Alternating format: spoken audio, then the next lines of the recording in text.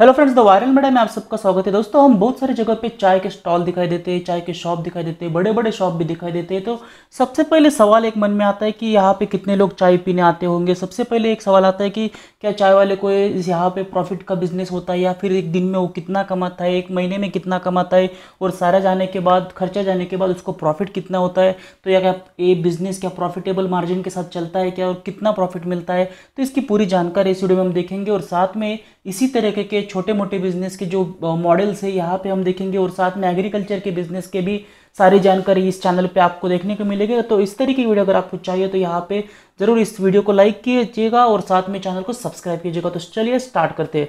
तो सबसे पहले यहाँ पे देखते थे कि एक आदमी दिन में कम से कम दो कप चाय पीता है, लेकिन सबसे पहला सवाल आता है कि हर कोई आदमी आपका कस्टमर बन सकता है क्या? तो उसका सीधा सवाल जवाब है नहीं, क्योंकि हर कोई आदमी आपका कस्टमर नहीं बन सकता क्योंकि आपको जो एरिया यहाँ पे डिसाइड करना होगा, आपको आपके जो टारगेटेड कस्टमर्स है, उसको ढूंढना पड़ेगा। तो उसके लिए क्या क्या करना पड़ेगा? तो सबसे पहले जो टारगेटेड कस्टमर्स यहाँ पे बहुत सारे जगह पे देखा जाए तो क्यों होते तो स्टूडेंट्स यानी कि अगर आप स्टूडेंट्स को टारगेट करते हो तो आपको जो कॉलेजेस रहते हैं, वहाँ पे आपकी चाय का शॉप लगाना पड़ेगा।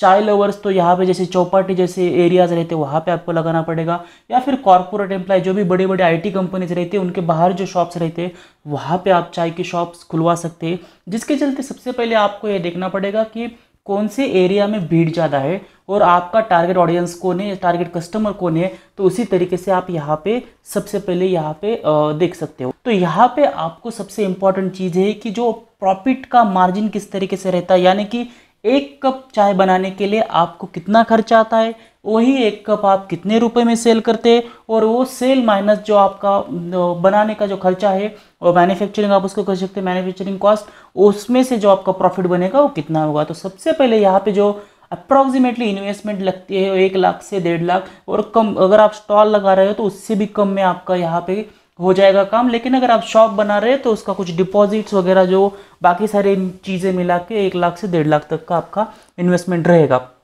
तो रॉ मटेरियल जो है, यहाँ पे चाय के लिए नॉर्मली क्या लगता है? Milk sugar tea powder tea masala and labour cost तो एक लेबर का तीन सौ रुपये के हिसाब से देखा जाए तो पूरे दिन का छः सौ रुपये मसाले का जो प्राइस है थ्री फिफ्टी रुपीज़ है।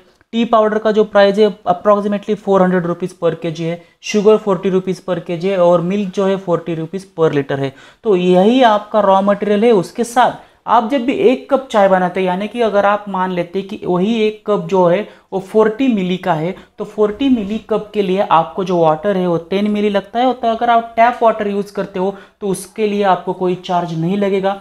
आपका मिल्क जो है उसमें थर्टी मिली लगता है। और जैसे कि हमने देखा कि फोर्टी रुपीज़ पर लीटर का था तो थर्टी मिली लगेगा तो एक कप के लिए आपको one point three three rupees का यहाँ पे मिल्क लगेगा। शुगर जो है आपकी फोर्टी रुपीज़ पर के जी थी और आपको एक कप चाय के लिए टेन टू फिफ्टीन ग्राम लगती है। तो यहाँ पे फोर्टी पैसे का जो आपको शुगर लगेगा। टी पाउडर जो है, वो अप्रॉक्सीमेटली फोर हंड्रेड रुपीज़ पर के जी है तो क्वांटिटी जो आपको लगती है तो एक स्पून एक कप के लिए एक स्पून आप अगर लेते हो तो 2.5 टू थ्री ग्राम्स के बीच में आपको एक स्पून की जो प्राइस हो जाएगी, वो पॉइंट एट सेवन पैसा हो जाएगी।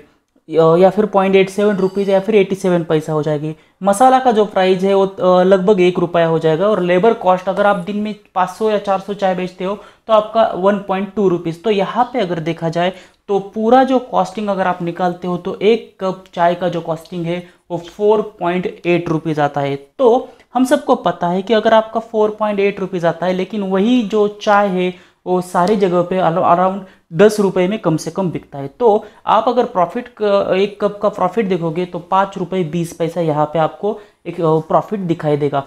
तो वही अगर आप देखते हो कि एक कप का पाँच रुपये बीस पैसे से हिसाब से अगर एक चाय वाला दिन में तीन सौ कप बेचता है, चार सौ कप बेचता है, पाँच सौ कप बेचता है छः सौ या एक हज़ार कप चाय बेचता है और एक बेचते हैं क्योंकि आपने बहुत सारी जगह पे देखा होगा कि पाँच सौ कप तो आराम से बहुत सारे आईटी इंडस्ट्रीज़ के बाहर बिकते हैं। तो यहाँ पे अगर इतने कप बेचते हो तो तीन सौ कप का पर दिन का जो प्रॉफिट है, वो पंद्रह सौ साठ रुपये ये प्रॉफिट है, यानी कि खर्चा जाने के बाद, यानी कि एक कप का पाँच रुपये बीस पैसे के हिसाब से अगर देखा जाए तो तीन सौ कप का प्रॉफिट हो जाएगा फिफ्टीन हंड्रेड सिक्सटी रुपीज़ और महीने का forty six thousand eight hundred rupees आपको मिलेगा। और फोर हंड्रेड कप का आपको महीने का sixty four thousand four hundred rupees मिलेगा। 500 कप चाय बेचते हैं तो हर दिन आपको प्रॉफिट जो है, उस ट्वेंटी सिक्स हंड्रेड रुपीज़ और महीने का सेवेंटी एट थाउज़ेंड रुपीज़ आपको मिलेगा। लेकिन एक बात यहाँ पे कि इसमें से और दो कॉस्ट आपकी आपको डिडक्ट करनी होगी। एक तो है, आपका जो एलपीजी सिलेंडर आपको लगेंगे, उसकी कॉस्ट। अगर आप सादा सिलेंडर यूज़ करते हो तो 500 टू 600 या 700 रुपीज़ तक वो एक सिलेंडर आता है 14 के का। लेकिन मोस्ट ऑफ़ द टाइम आपको कमर्शियल एलपीजी सिलेंडर यूज़ करने होंगे, और 19 के का होता है तो 1400 टू 1500 का एक रहता है। और उसके साथ साथ आप जहाँ पे भी आपने जो शॉप लिया है, अगर स्टॉल लगाया हो तो आपको ज़्यादा रेंट नहीं देना होगा, लेकिन अगर आप छोटी एरिया में शॉप लगाया है तो आपको 10 से पंद्रह हज़ार या बारह हज़ार रुपये जो भी आपका रेंट है, वो उसमें से जाएगा। तो लगभग अगर इसमें भी देखा जाए तो 500 कप चाय अगर दिन के बेचते हो तो आपका प्रॉफिट आ रहा था सेवेंटी एट थाउज़ेंड उसमें से अगर आप रेंट प्लस आपका एलपीजी सिलेंडर का टोटल कॉस्ट अगर ज़्यादा भी पकड़ लेते, चलो अठारह हज़ार भी पकड़ते हैं तो भी आपको लगभग सिक्सटी थाउज़ेंड रुपीज़ का पर मंथ का यहाँ पे प्रॉफिट आएगा। यानी कि साल का अगर उसको मल्टीप्लाई बाय ट्वेल्व करोगे तो सात लाख बीस हज़ार रुपीज़ का आपका सारा खर्चा जाने के बाद एक चाय वाले का प्रॉफिट रहेगा। तो यहाँ पे आप देख सकते हो कि किस तरीके से जो टी बिज़नेस है, वो वर्क करता है। और इसी तरीके के बिज़नेस का आइडियाज़ मैं आपके साथ शेयर करूँगा। तो अगर ये वीडियो अच्छा लगता है तो इसको लाइक कीजिएगा चैनल को सब्सक्राइब कीजिएगा।